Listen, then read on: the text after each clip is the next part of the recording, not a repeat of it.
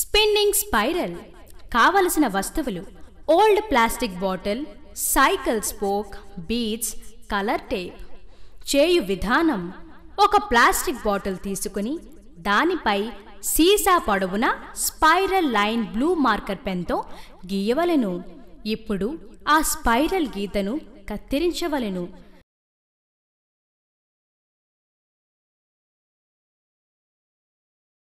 సీసాను మెలిత్రిప్పినచో spiral ఆకారంలో తెరవబడును. ఇప్పుడు మరొక స్పైరల్ను మొదటి దానికి సమాంతరంగా రెడ్ మార్కర్ పెన్తో గీయవలెను. స్పైరల్ వెంబడి చిన్న చిన్న ముక్కలుగా కత్తిరించవలెను.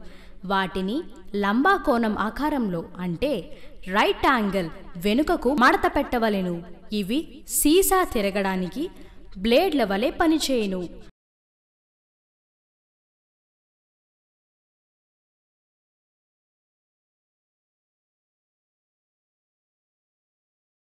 వాటి మధ్య ఉన్న ఖాళీలలో కలర్ టేప్ చుట్టవలెను.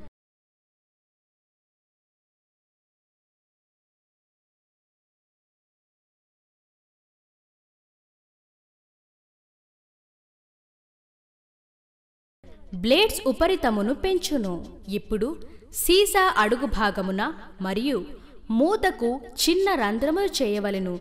సైకిల్ స్పోక్ను ఆ రంధ్రంలో దూర్చి బీట్స్ను అమర్చవలెను.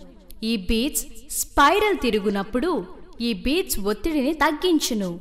ఈ సీసాను ఫ్యాన్ క్రింద పెట్టినచో సీసా స్పైరల్ బ్రేడ్స్ అందముగా తిరుగును.